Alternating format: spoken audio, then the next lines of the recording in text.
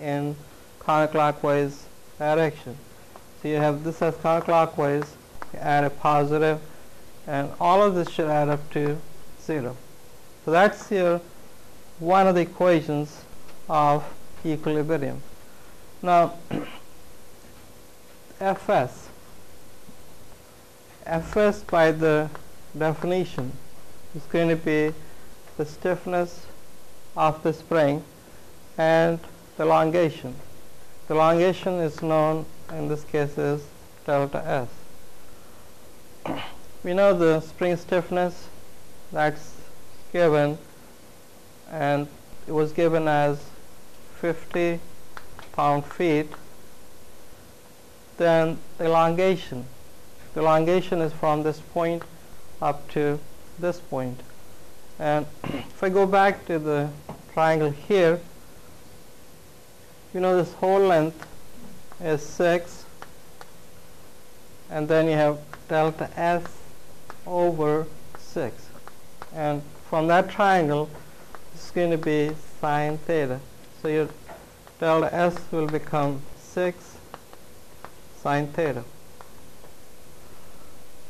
So we multiply this here with 6 sine theta and the force will become 300 sine theta. So your force equation here is going to be 100 minus 600 cosine theta plus you got 0 another 300 sine theta and that's gets multiplied by 3 cosine theta and this should go to 0.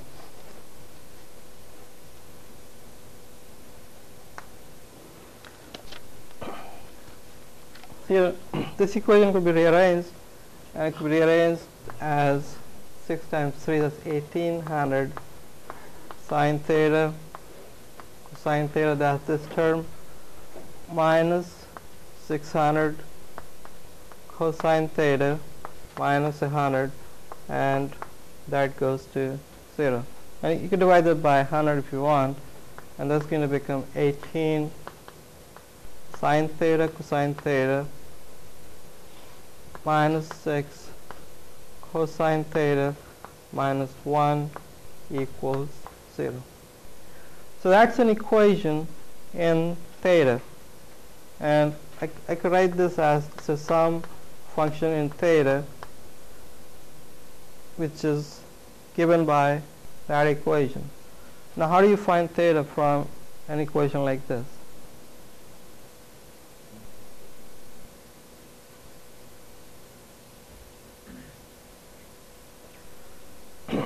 Well, there, there are two possible ways of doing it.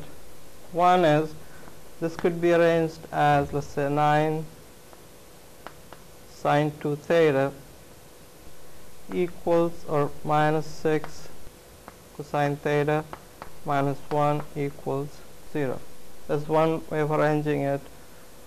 And then, see there is no direct solution. It's not like you could directly solve this equation. What you could do is, you could make a plot. I mean, you could create a table and you could use theta at one end and you use f theta on another end. So you will do what's called as the trial and error.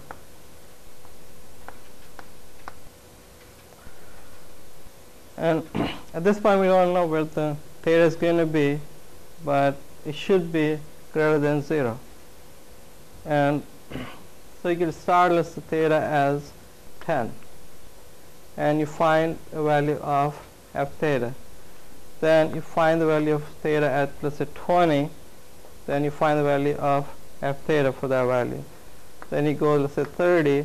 You find the value for f theta. So from this equation, for every value of theta you choose, you're going to calculate the value for f theta. Then at some point, if I plot this data what you're going to see is on one axis you're going to have theta, another axis you're going to have f theta.